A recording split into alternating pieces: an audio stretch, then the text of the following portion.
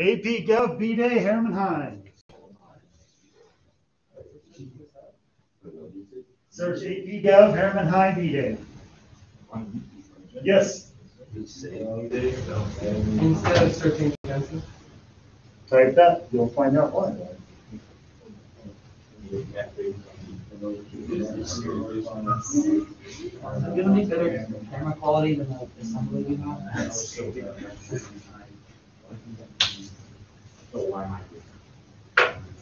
Oh, whoa, we're like, Yeah. dude, it's like right there. Like, how much? I'm on the library. Dude, I don't know. Whoa. How much money did Donald Trump spend on YouTube that week? Because those are the only. Okay, so what you will see is you will see a live feed to my classroom, like you are a student sitting in my classroom. This is what you will be able to do with the blended hybrid, meaning if you can't make the class because grandma, grandpa, brother, Uncle Tommy is sick, or if you don't feel comfortable with going to class, you will do the blended hybrid, you'll sign the disclosure saying that I am not liable for you. Do I want you in class? I would love to have you in class, but are you if you're not, I totally understand. I get it. The live stream is you can go to class during class time and be able to watch class at home. You'll even be able to participate because I'm going to have a TA sit back there and moderate comments and ask questions for you. So if you post a comment on there, my TA can raise their hand and say, Mr. Jensen, um, How do you set your yes, Okay, any questions on this? Yes, What do you search? um, And will it be the same every day? uh, just search on my channel, if you subscribe to my channel. Push the sub. If you click sub, subscribe at the bottom left, no. Turn on. If you turn on notifications, it'll tell you when it goes live. Okay, so today, we're going to talk about, well, we're going to talk about what is good government. Can anyone tell me what government is?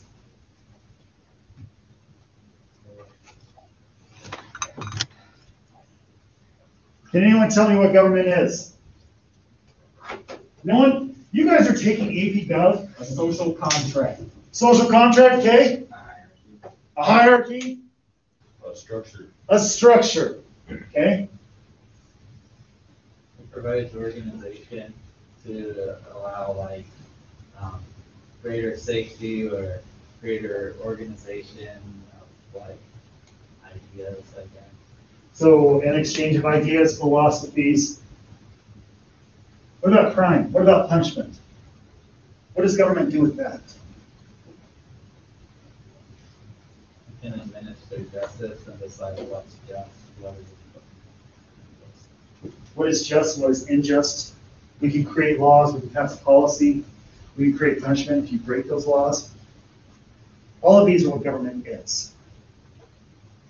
So what makes good government? Everybody pass the buck? You Go first. Oh, uh, what makes a good government? Yes. How about the rights of people? Protect rights of the people, I like. Pass the buck.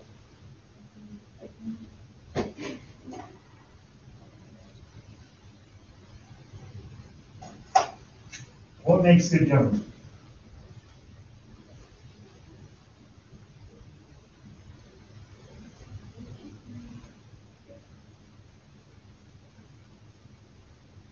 Protect rights is fair.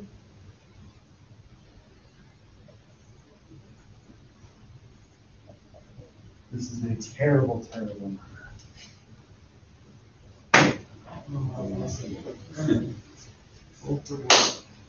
Okay, what else? Pass the buck, pass the buck. Pass the buck. Three, two, one. Oh. What is good government? What is the quality of a good government? Um, I'd say like input from the people. Input. Okay, input from the people.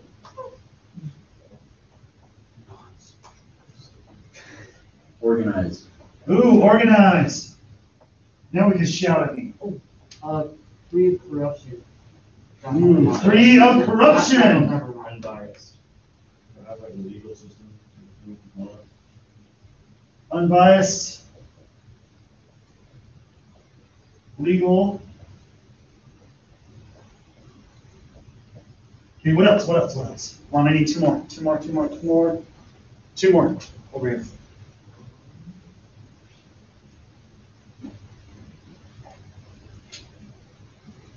Easy to learn. Easy to learn. I will tell you, American democracy is not easy to learn. Capitalist, Yes. whoa, whoa. Why capitalist, why capitalist? Because free market, free Free market, free people? Okay.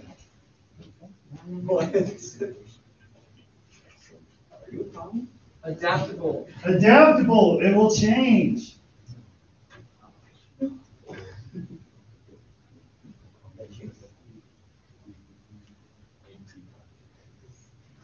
Adoptable and adaptable are the same thing, because you're adoptable and adaptable. You adopt and new stuff. and you adapt it. Wow. Yes, go. Helps to meet the people's needs. Ooh, meets the needs of the people.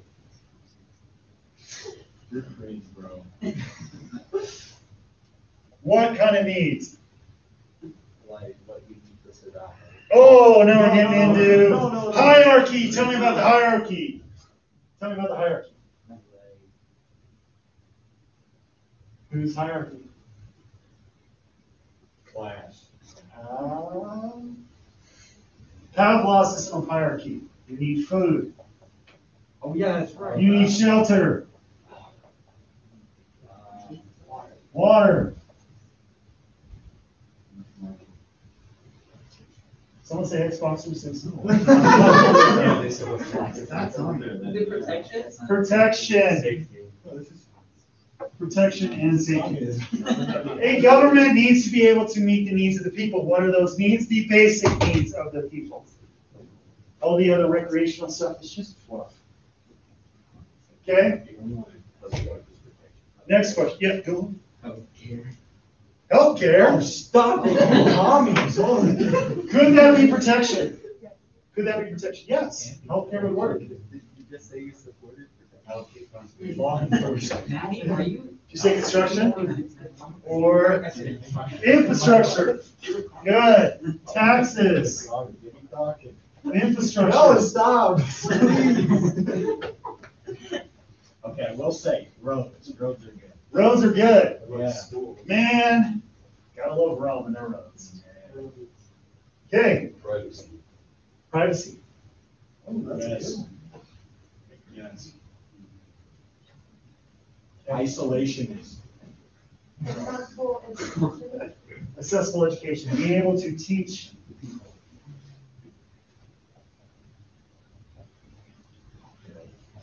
This makes good government. All of these ideas are phenomenal. Because this is what makes good government, are all of these ideas. Legal sister, legal system. As you can tell, I have terrible handwriting. Um, You just get excited and then you just don't finish what you're writing. Yes, Matt, you said health, no healthcare, and you called everybody commies. Why? Tell me why. okay. Taxes, Okay, taxes. the more and more social programs you have, Yes, the more money you have to be taken away from the citizens to fund it. Mm-hmm. I don't want to pay. For social contract. It should be voluntary. Yes. However, if you get, uh, healthcare fee from the government, then you are spending your own money to pay for your own. Ooh, counter argument. It's a buck for a buck. But would the, um, healthcare necessarily be as good or as luxurious as you could if you had the money? Do you know how many democracies have universal health care? Like all but ours, I think, We have universal, we have a Obamacare. and all of them, I'm. It's about ninety-eight percent.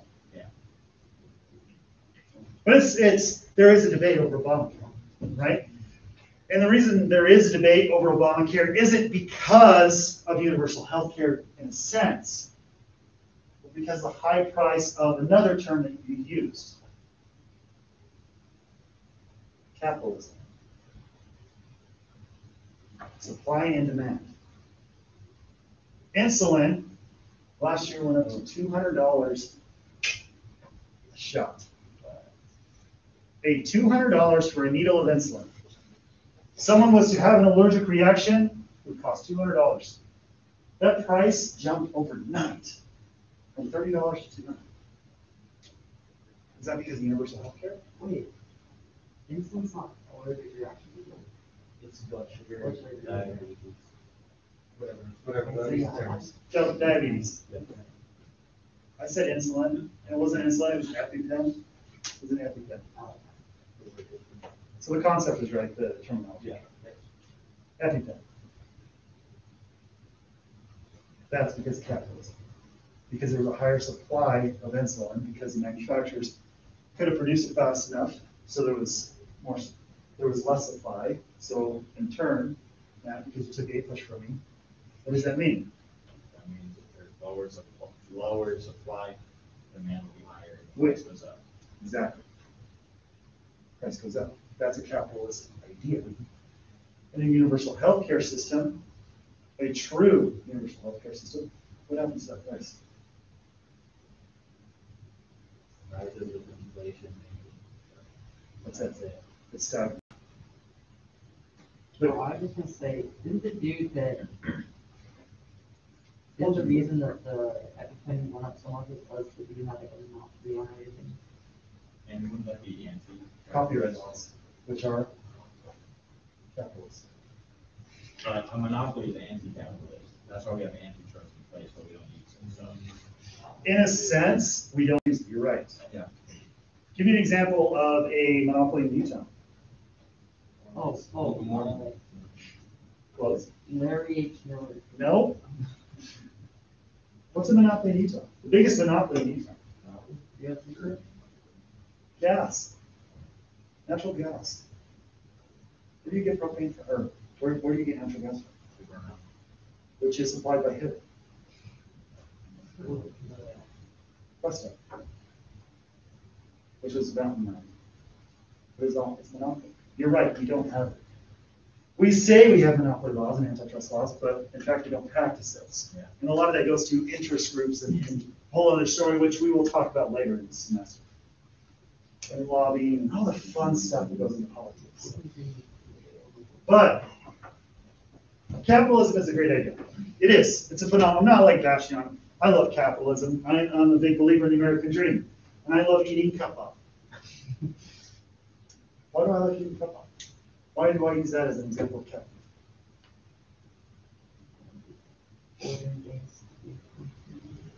It is for students that were going to Neumont University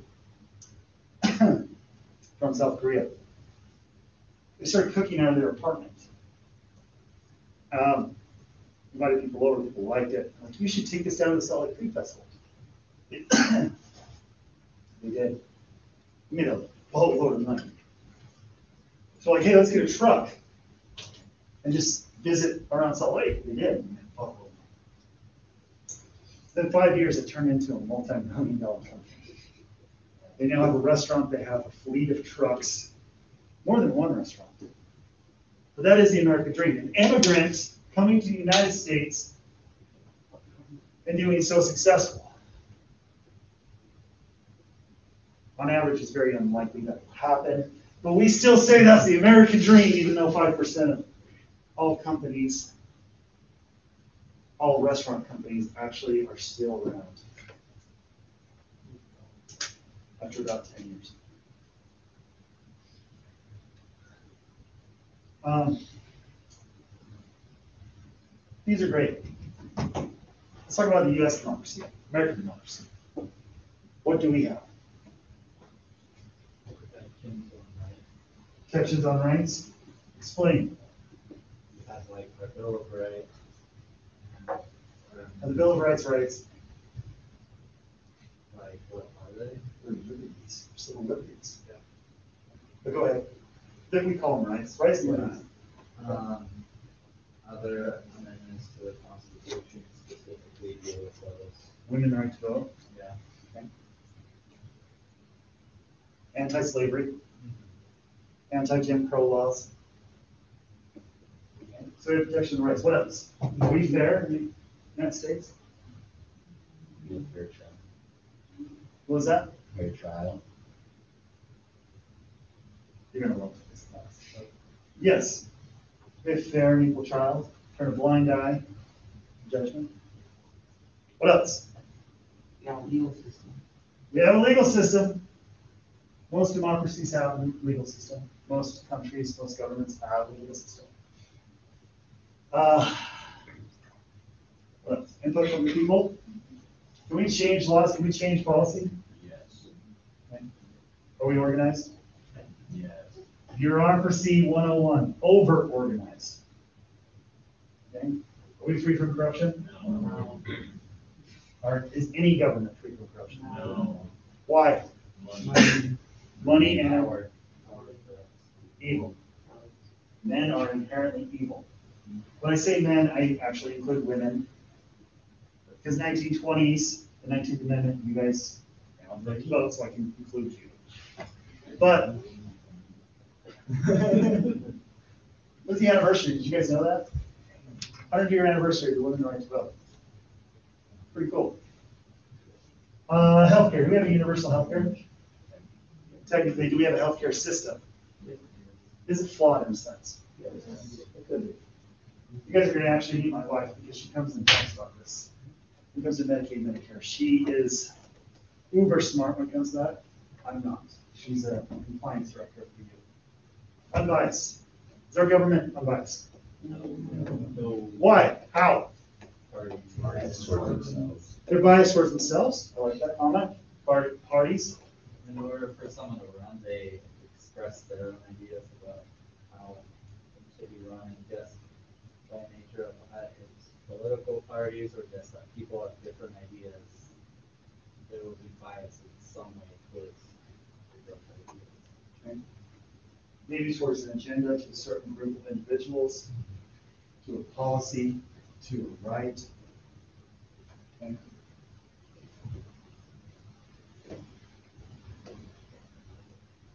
American democracy is not. Why do I say it's not easy to learn? We have this class. We have one class.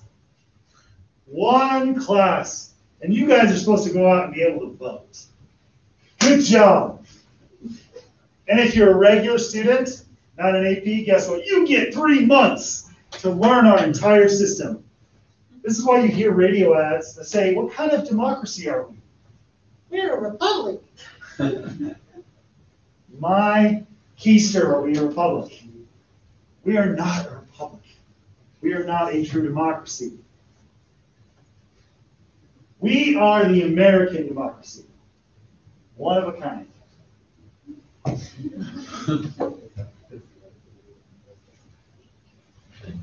Adaptable. Is the American democracy adaptable? Is the US Constitution adaptable? It is. We have amendments.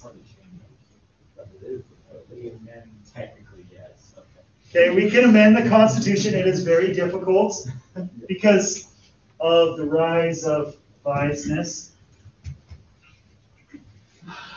It can be interpreted through the Supreme Court. One of the most important Supreme Court cases of your lifetime happened in 2006, when Jensen was a senior in high school. You know what case that was? He's like, one minute, I'll find it. I got it. Well, Bergerfeld v. Hodges, gay marriage. It actually had to do with insurance premiums. Did you know that? Yeah. I'll tell you the lowdown, the basic, quick version of Obergefell v. Hodges, and it had to do with individual rights, specifically with the Fourteenth Amendment. Right. But no states could really take away any life, liberty, or property from the citizens. Insurance now becomes liberty and property. Two individuals, and it was a pile of different cases, but two individuals um, were married in a different state where they recognized um, homosexual marriage. One of them had died The other one went to collect the insurance premium because he never worked. His partner had supported him his whole life. And the bank said, we don't have to do this because we don't recognize your marriage. Even though they had been married for years. It's pretty much his bankroll. Is the bank taking away that individual's life and liberty? Yes. Uh, it passed in a five to four decision, very close. The, using the Fourteenth Amendment, and specifically the due process clause, that no state can deprive any of its citizens of life, liberty, and property without due process of law. So we are adaptable, we change. Would that case have passed twenty years ago? Why? Different culture, different ideas. Are we seeing a political shift today? Yes. How? How are we seeing a political shift? What's going on? We're like opening up. Are opening up. Yes. Gen Z is being introduced to political system. I like that. I do. Do you know there are more of you than anybody in history? More 18 to 27 year olds. Than any time in history. Political campaigns, policy, everything is motivated to what you want. And Congress are trying to jump on board with their ideas, but still get input from their constituents, still get ideas from their constituents. Constituents meaning voters. Medical marijuana, is this a policy? This change? I think this have passed twenty years ago? Especially in the state of Utah. Uber, uber conservative. We were one of the first states. Policy is changing because the American people are changing. The American twenty years ago is not the same American today. We have more interest groups, we have more minority groups. Our school's different within the same county. If you go to Kearns High School, it would look a lot different. Herriman High is predominantly white. I think it's like five percent of all students at Herriman High are a minority. You go over to Kearns, you drive twenty miles, and it's about forty percent, fifty percent. Social dynamics change, economic status changes. So policy must try to keep up. Ideas and policy needs to keep up. So a government or good government needs to be adaptable. It needs to be able to teach the people. I Mentioned earlier about one-year course of government. My opinion, US government, you should take all four years of high school.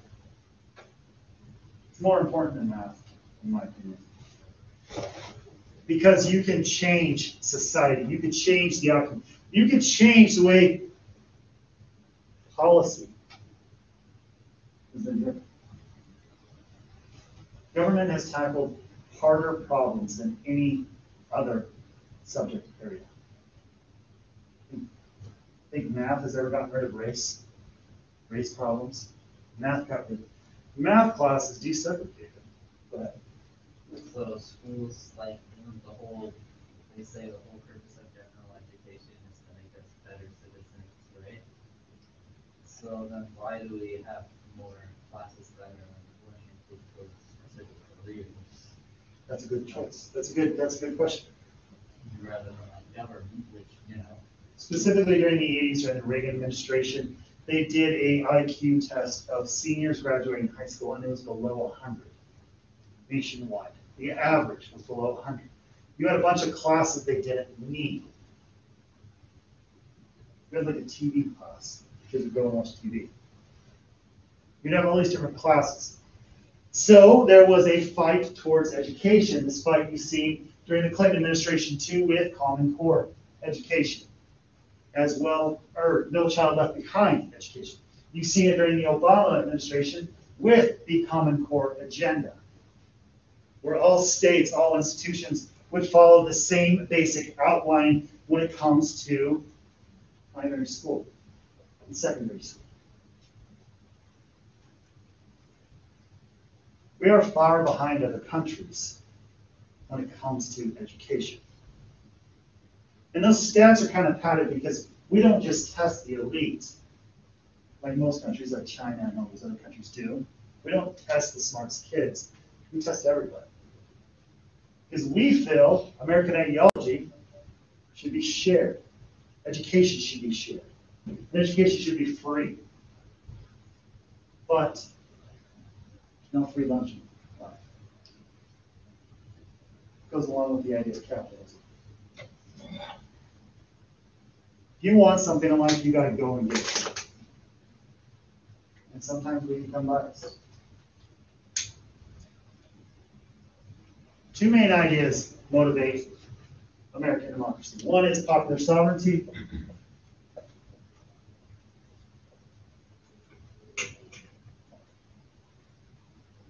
The other is social contract.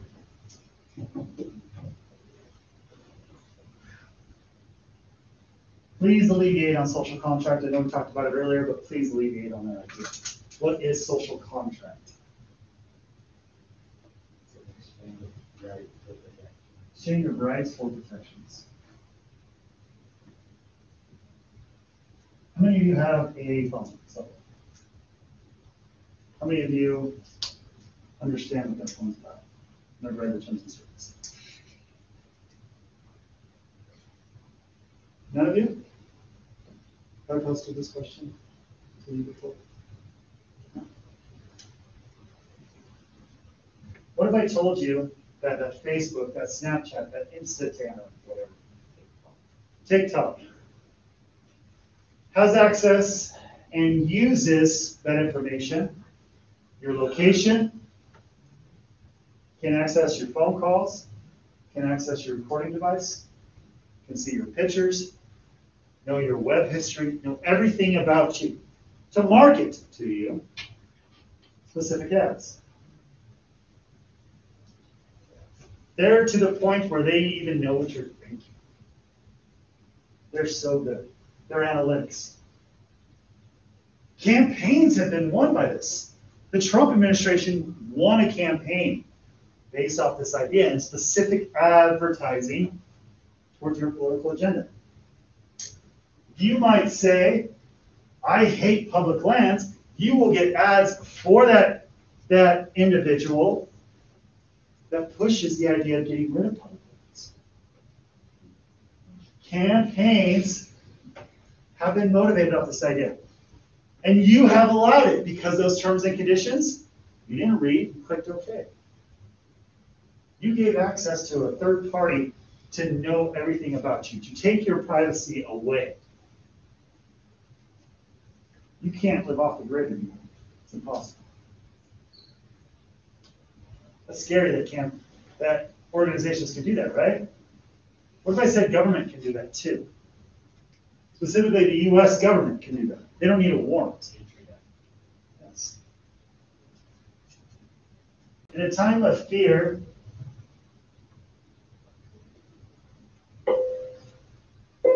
Congress passed unanimously, a couple people voted no, the Patriot Act. What the Patriot Act does is it gives your information to the US government. Scary, right? Now we're gonna use that with voting, motivating society to an agenda. Then media comes in, they can play a role. They can push their own agenda, for you are influenced. We mold the political ideology of the uneducated to be educated on our agenda. That's why I think government is more than one course. Questions so far? This exchange of rights for protection in the Patriot Act, we gave up the right of privacy. In exchange, what did we receive? Terrorism. Safety. Or terrorism protection?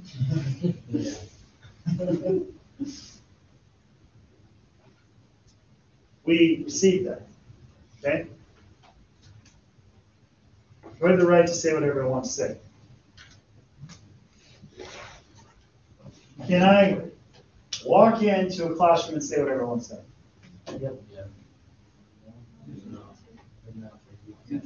You have a choice. Good. Lots of conflicting ideas, I like this.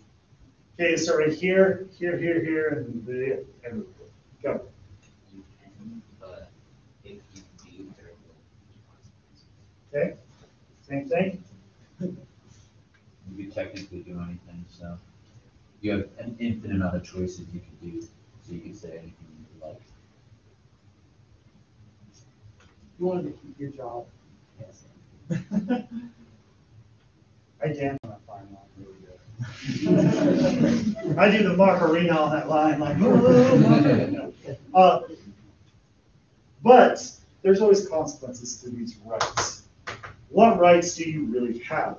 That freedom of speech, the freedom of petition, to write, to, to protest downtown. These are all individual rights. Now, could I get arrested? Maybe. Is that a consequence? Yes.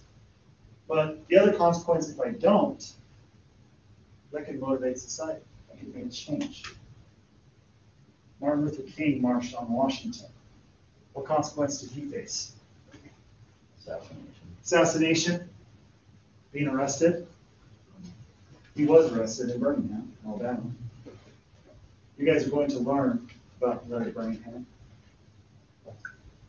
But that's a consequence of the action. We do have rights, and those rights are defined by who? Who defines the rights?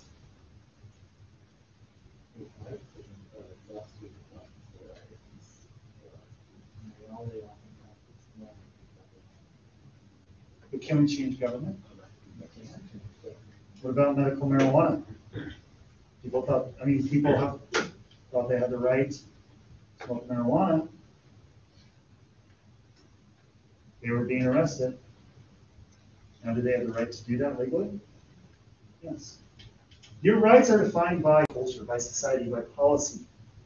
They can only be defined by the government. Government is a way that the people, use, it, it's an avenue that people use to control itself. Because men are inherently evil. So we have to put guidelines on the evilness we're willing to go.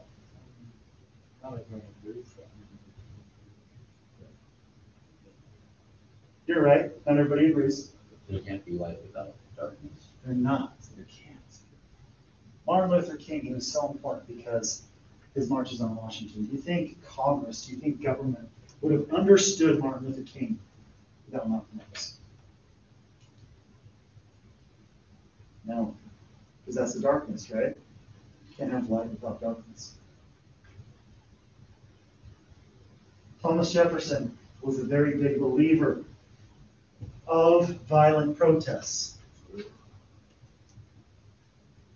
A quote from one of his papers that he, or letters that he had written to Madison while he was serving as ambassador to France. A little bit of destruction is needed to keep the light of democracy burning. During the Constitutional Convention, where do you think Jefferson was? In France. After he signed the Declaration, he went to France. What was he doing in France? He was starting a revolution. Off with their heads! You see the, but unlike Jefferson, you had Madison. And when drafting the US Constitution, he had these questions. What is government? What is good government? So Madison took the peaceful route. He researched. Madison was a historian by nature. And he looked to some of the early political philosophers. Who did he look to? John Locke.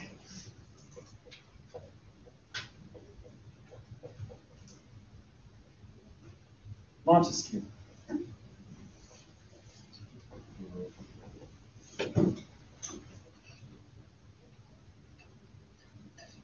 Rousseau. Not risotto, I don't know how to spell risotto.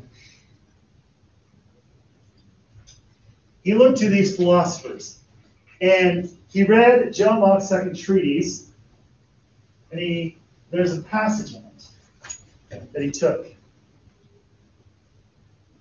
Life, liberty, and property. He took this passage, and it influenced American democracy. Jefferson used this idea of life, liberty, and property. We'll get to that in a second. But specifically, life, liberty, and property, for the idea that these are basic human rights. The right to life, the right to liberty, the right to property. Madison used it in the due process clause of the U.S. Constitution.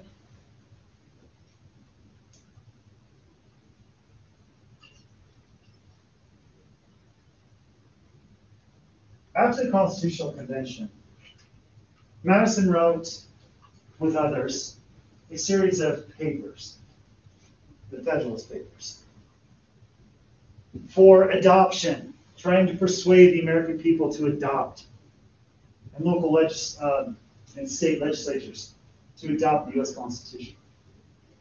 Specifically in Federalist 10 and Fed 51 two required documents. One key idea comes out. The rise and prevention of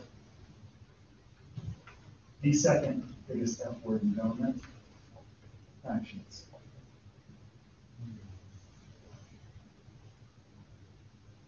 What a faction is, is a group of individuals who become so powerful in their motivation that they actually sway the American people.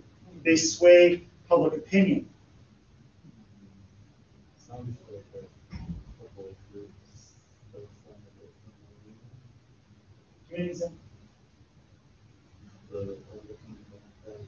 Okay, political parties. What interest groups? Planned Parenthood, the NRA. Are these factions?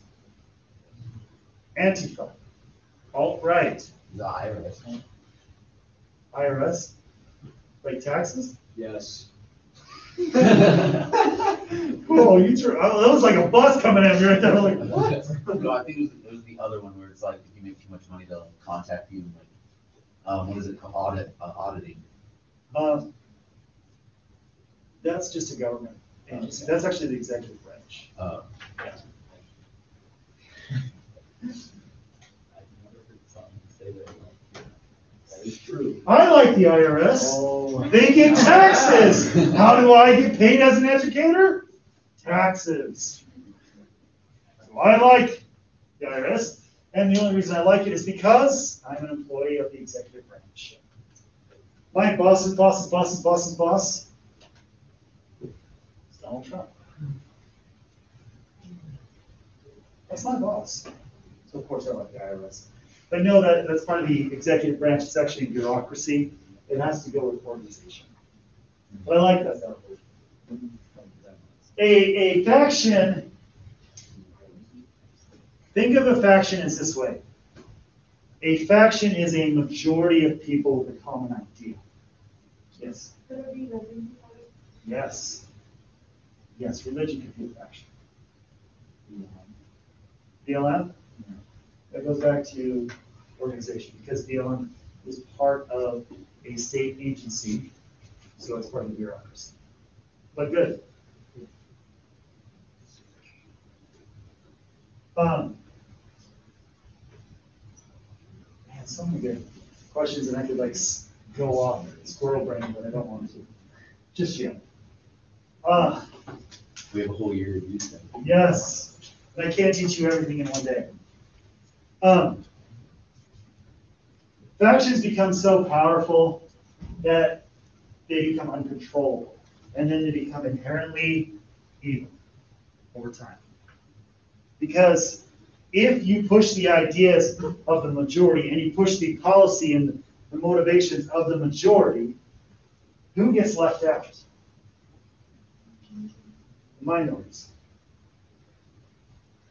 Was segregation a faction idea? Yes. Thomas Jefferson, like I said before, he stole this idea from Locke as well, but he altered it in his third draft. His first two drafts of the Declaration of Independence included the term life, liberty, and property. In the third draft it was life, liberty, and pursuit of happiness. Okay? Why did he change that? It has to do with factions.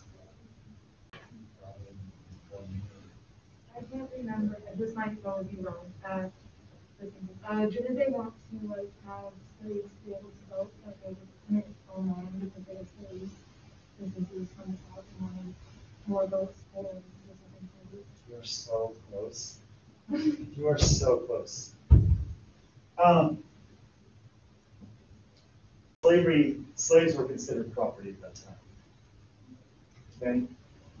And the idea that you need to have slaves to be an American citizen, what agenda would this push? Pro-slavery. Which was, at that time, what? A uh, faction. A faction. Pro-slavery was a faction. That was a common idea. It was a minority of people who didn't, who were anti-slavery. He changed this idea from property because it was a fire. It was a fire that lit the conversation that the Americans should be anti-slavery.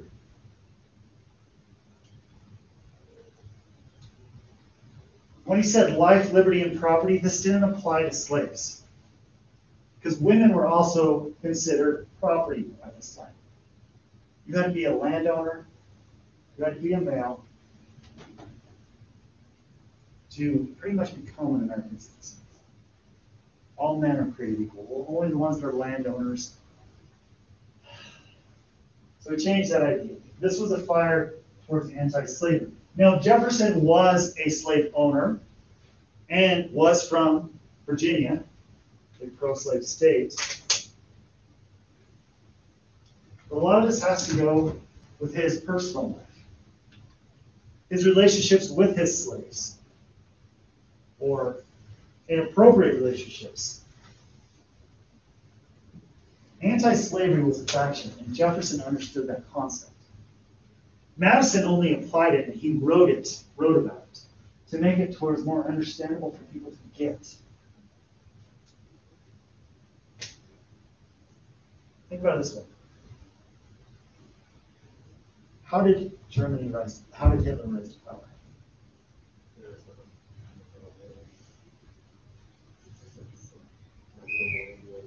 Okay, World War One.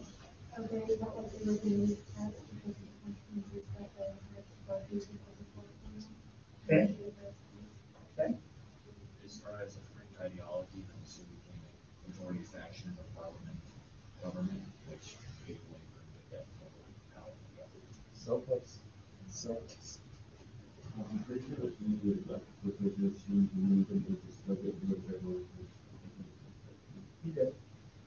of your answers are correct.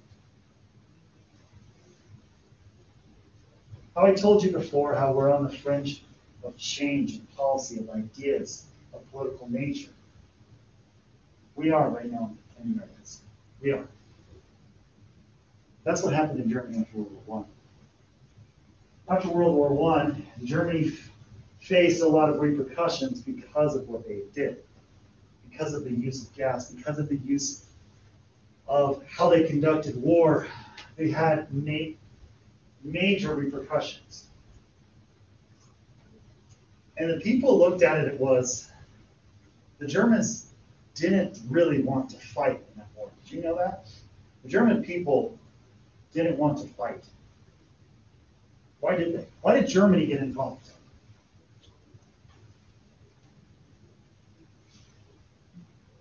Yes. They're not in with. Who? Austria, Hungary. Who had the alliance? Well, Germany and Austria, Hungary had their alliance. Okay, Germany and Austria had the alliance, but who specifically? What kind of government was it? It was a monarchy, the Kaisers. The reason they had that alliance, was because they were related, because it was family tie. The German people were sent to war, to send to this atrocity, sent to this new type of war, where war was not glorious anymore. They were sent to die, and they didn't come home and it was a glorious celebration like they had in the past. The nature of war had changed. And the people blamed the Kaiser for this. So they started a revolution. They overthrew the government. They created a democracy. Americans have a democracy. It's good. Let's try that. They created a democracy. Unemployment dropped hard. People began to go to work. Industry rose. The country became great again. That term before?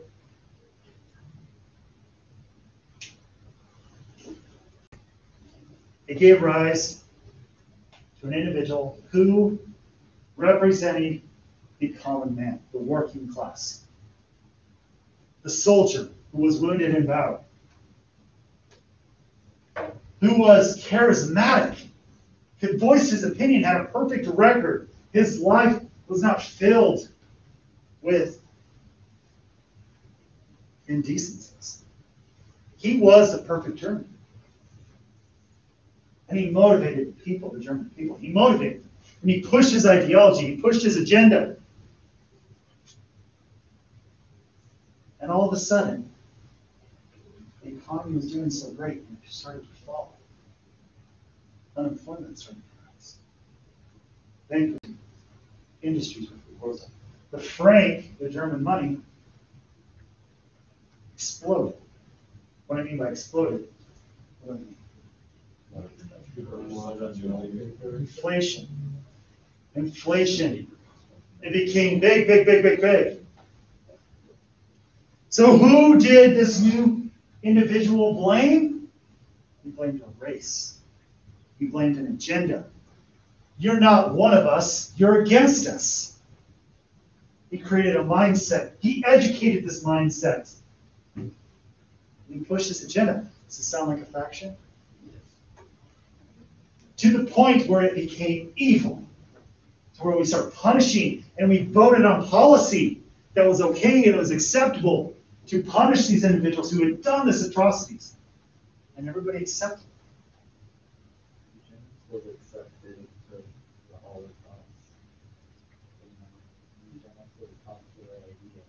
Pushed by what philosophy? What F word? Factions. Factions become so strong, they collapse. And Madison wrote about this in 1051. 200 years before Hitler, he understood that consequence. Think of Rome, the Roman Empire. Why was Rome so successful? Can anyone tell me?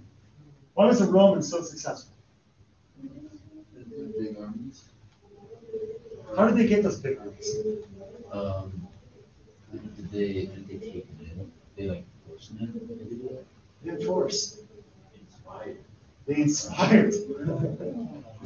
We conquer your land. We conquer your oppressive government who has made you eat terrible food, has made you starve. We've conquered them. Now you are Roman. You will get money every day. You will get food supply every day. We will build infrastructure in your city and expand and expand. That's why the term all roads lead to Rome. Because they're phenomenal at infrastructure. They're phenomenal at how they ran their government. Early Roman government was a republic where elected individuals would serve for certain territories. So now they had a voice.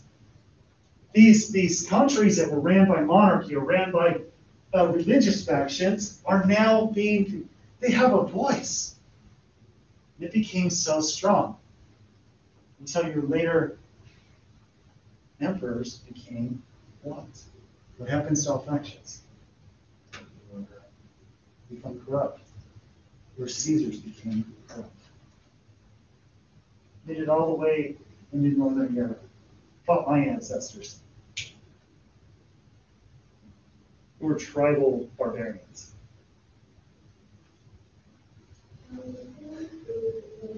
That's the idea. Factions are evil in nature. And there's rise to factions that. I'm gonna pose a question, we're gonna pass, play past the buck again. I want you to think about the question.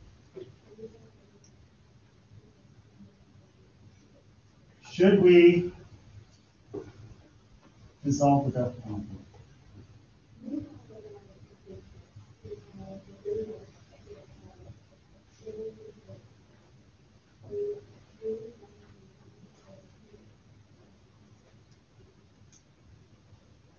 No, Why? because there's some crimes that just deserve it. It should be seriously looked at before it's put into effect, like, not how we use it, but something we should do. Pass the buck. Um, I don't really, um, should we dissolve the debt? Get rid of it. No?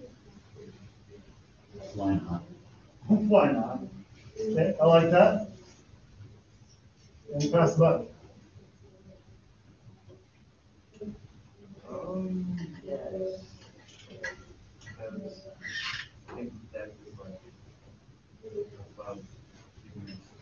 that everyone inside each other. I'll start pass the buck. Uh, I say no. But if you go out and kill one I probably be. Pass the buck. Uh, yeah, constant case costs like, most crime, it shouldn't be used often at all. But there's some crimes, that I think people do it like, they just deserve to die. You deserve to die. Okay, I. I don't like that statement, but I like what you answered. I'm happy you answered, it makes me feel good. so. Pass the buck. Lee. Uh, Carly, I think it's complicated, because what would, like, for example, if someone committed something that somebody saw fit as a death penalty, but would it, like, would it be more detrimental to them if you just put them in prison for life and they suffer the rest of their life? Like, What about the economic impact?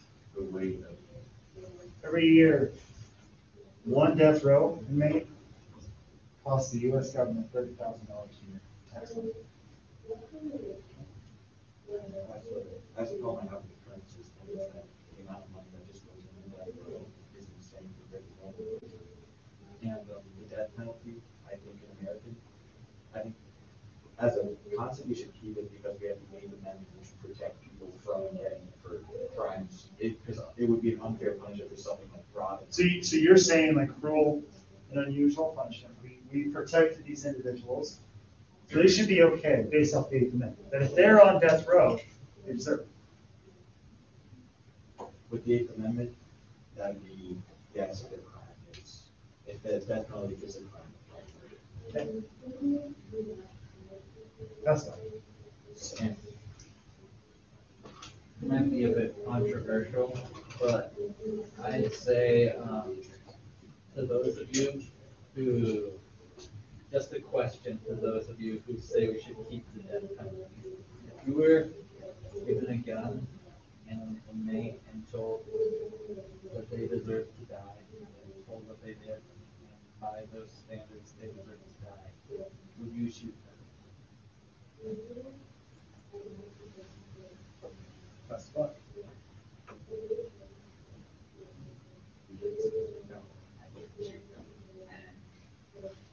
Uh, I know, as the great philosopher Batman once said, I don't believe you should.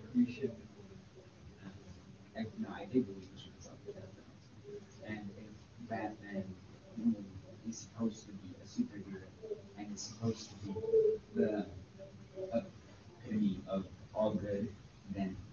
Justice. Yeah, exactly. Then why shouldn't we listen to the opinion of justice and say that? um, That we should be able to kill someone? That's fine. Um, I think that we should uh, dissolve it because, first of all, it's kind of really hard to get out. I remember, uh, listening to a case actually about, um, a serial killer. And even though they had hardcore evidence of him more than two people, he got on a life sentence twice, and then when they finally got the death penalty again, he still had like three trials before he actually was killed, and I think that um, when we have serial killers and mass murderers or people who have committed, uh, biggest crimes against other citizens and have kept doing it, then, uh, the only way to protect the people and is to. A crime the function. Who posed another question? I actually had a debate with Mr. Ball about this for the debate team a couple years ago, and I failed miserably. I failed miserably because he posted one sentence to me, and it destroyed my whole epitome of what I thought. Would you ever rape a rapist? The crime fits the punishment. You kill a murderer, would you rape a rapist?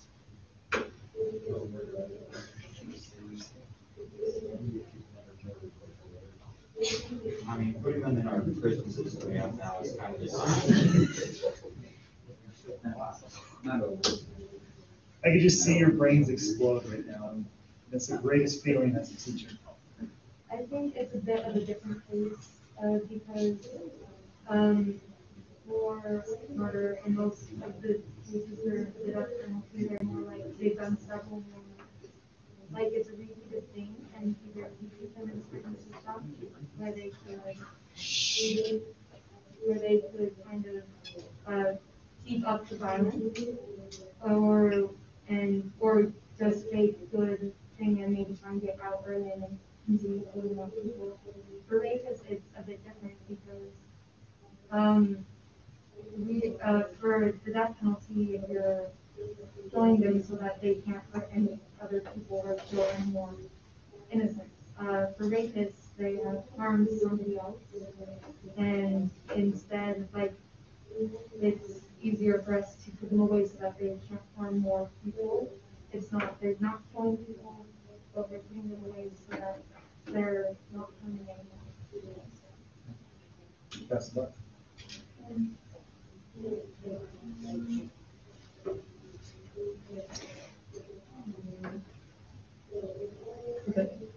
You can pass it up.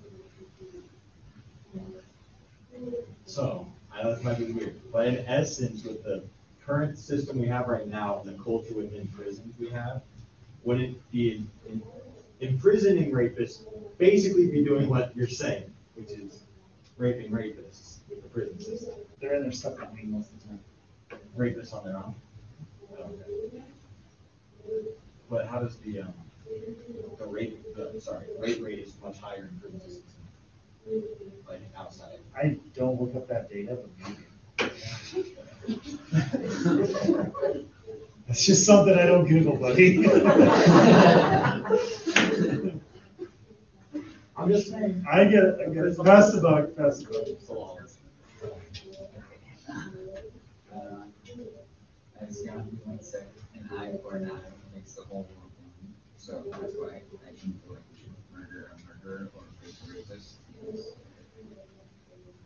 You wouldn't be any better than that person. So taking a life. What? Pass the buck.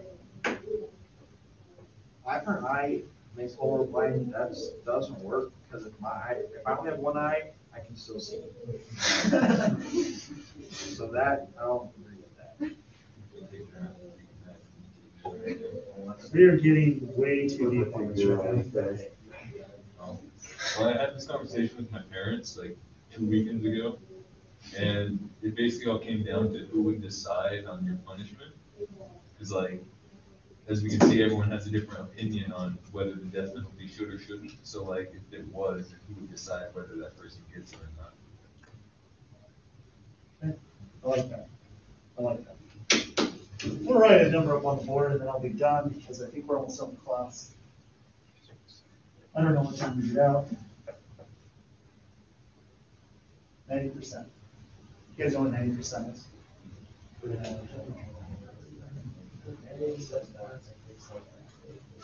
What'd you say? Ninety percent is the average conviction rate of district attorneys.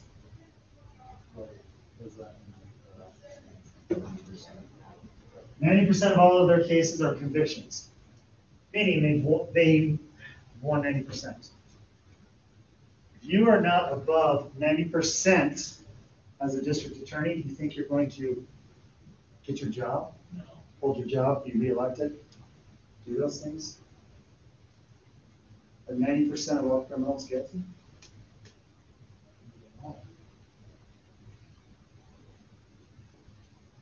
Made that comment, it's up to that individual to make that judgment, right? What about that police officer arresting a sixteen-year-old African-American? Because he fits the profile of the murderer. That individual, because they could be flawed, because men are inherently evil, arrest him, district attorney gets the case, they build a case on this individual, circumstantial evidence, and they don't know if they're going to win or not, but they pressure that sixteen-year-old boy to plead guilty, because they say, I will give you, if you get found guilty, you're gonna get life in prison, or if you plead yes, you're gonna get ten years. Even if that individual didn't commit that crime. He's a sixteen-year-old boy that's scared. Why? Because we live in a system of racism. We live in a system of hate in the United States. Men are inherently evil. Ideas are inherently evil, and judgments can be wrong or right. It's based on that individual.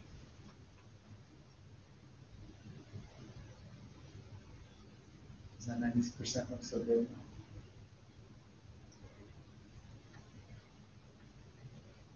People that are on death row, they committed it. Ninety percent conviction rate.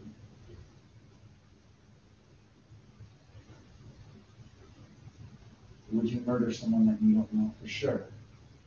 committed that crime? Would we put to death someone that we don't know actually committed a crime? Economically, it's expensive.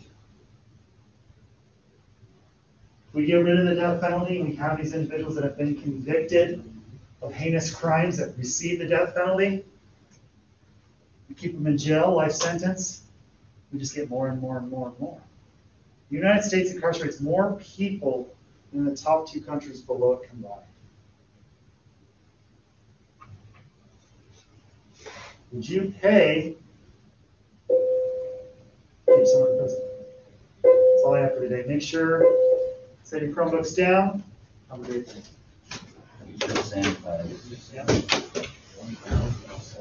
I'm gonna go, actually leave them open, I'm gonna go through and spray them all.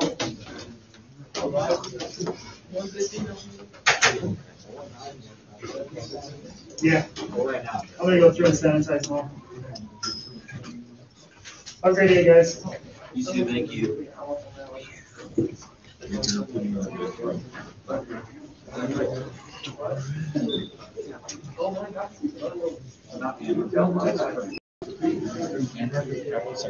But lots of. That's gonna be a controversy.